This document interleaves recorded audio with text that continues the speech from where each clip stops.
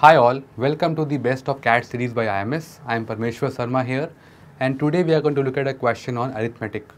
So kindly pause the video, give it a try and then resume the video. So today's sum basically is based on the concept of time speed distance and it goes like this.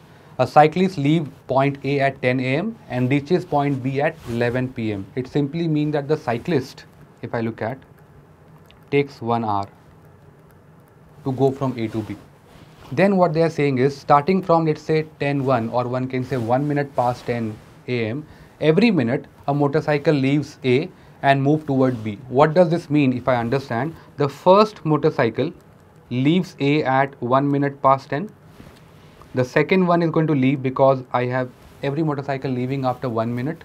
It simply means second one leaves the point a you can say at 2 minute past 10 and so on so what they are saying is 45 such motorcycle reaches B by 11 am.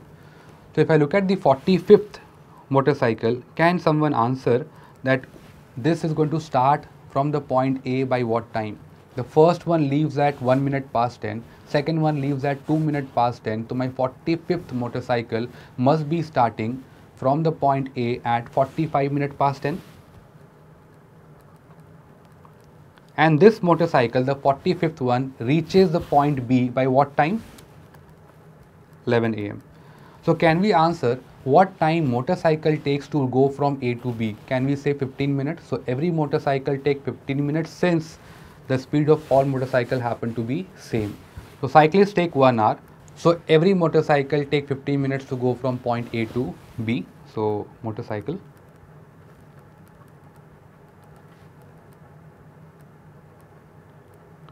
Now what they say right now is if the cyclist had double the speed, so if you double your speed you can cover the same distance in half the time since speed and time are inversely proportional to each other.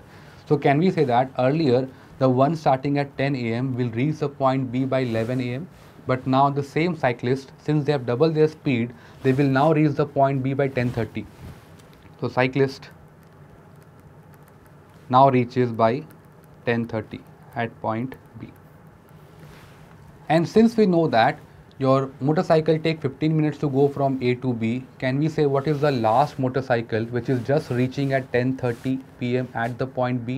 It must have started 15 minutes before that time 10:30 pm. So it must be the last motorcycle which is going to start let's say at the point A must be starting at 10:15. And by the same logic since the first motorcycle leave at 1 minute past 10 second one leaves at 2 minutes past 10 and so on. So the 15th motorcycle must have left at 10.15 so my answer for this particular question is going to be nothing but option number 3 here. So now kindly try a similar question and let's say kindly post the answer in the comment section